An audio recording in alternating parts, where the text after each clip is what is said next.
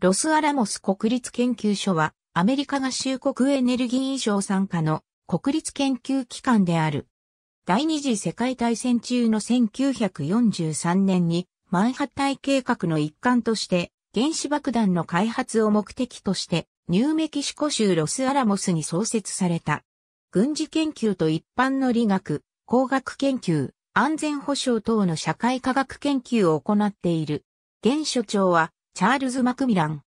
ロッキー山脈の南端の美しい森林に囲まれた広大な敷地に2100棟もの施設が立ち並び、科学者、エンジニア2500名を含む1万人もの所員が勤務している。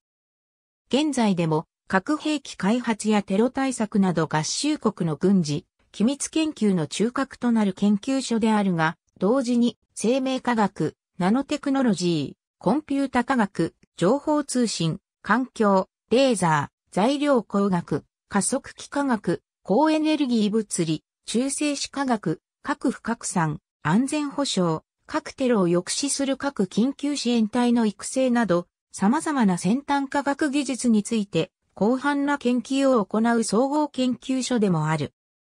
アメリカ国内外の研究機関との共同研究も盛んであり、多くの外国人研究者を受け入れている。年間予算は21億ドルで合衆国の頭脳が集まる名実ともに世界最高の研究機関であり、合衆国の司法と称される。研究所はザワールズグレイテストサイエンスプロテクティングアメリカを標榜する。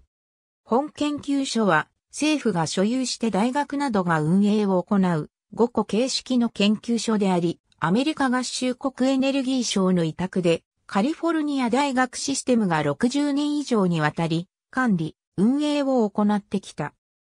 2005年に行われた競争入札の結果、2006年6月からは、カリフォルニア大学システム、ニューメキシコ大学、ニューメキシコ州立大学、ベックテル社、BWX テクノロジーズ、ワシントングループインターナショナルらで構成する、ロスアラモスナショナルセキュリティという連合組織による運営体制に移行した。2019年3月からは、カリフォルニア大学及びテキサス A&M 大学の連合による運営組織に移行している。マンハッタイ計画において1945年7月16日に行われた人類最初の核実験、トリニティで生じた火球。爆発開始から16ミリ秒後の写真で、火球の高さは約200メートル。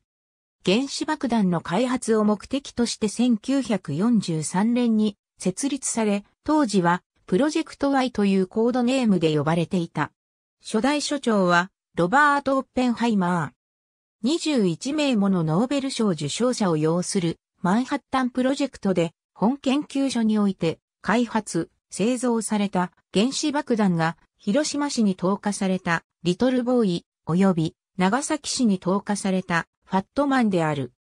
マンハッタイ計画にあたり、機密保持のために徹底的な管理を求めた軍上層部に対し、自由な気風で研究を進めようとした科学者たちは反発し、科学者の主張は概ね認められた。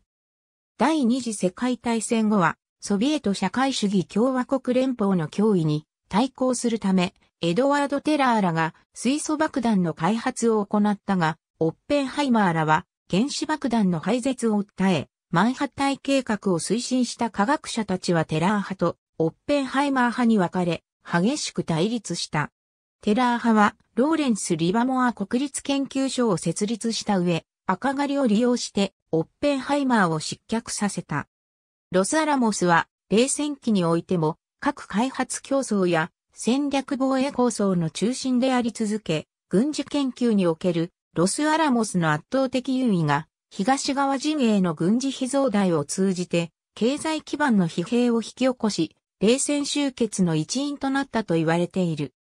本研究所に関係する他研究所として、サンディア国立研究所は、本研究所のエンジニア部門が独立したものであり、ローレンス・リバモア国立研究所は、本研究所と競合させることを目的として1952年に設立されたものである。複雑系の研究で有名なサンタフェ研究所は、本研究所の科学者らによって設立された。1999年には本研究所に勤務していた台湾系アメリカ人科学者李文和が中華人民共和国のスパイとして起訴される事件が起こり、その後も放射性物質の厳重な管理を怠ったり、機密情報を収めたディスクを紛失したりするなどの不祥事を続けざまに引き起こしたため、2004年7月16日に活動を一時停止した。Facts, Figures、LANL、2013年10月28日閲覧、U of California, Texas A&M Win Bid to Run Birthplace of Atom Bomb、Chronicle of Higher Education、June 08、2018、US of A vs. Wen Ho Lee、Grand Jury Indictment、FAS、2017年5月9日閲覧。ありがとうございます。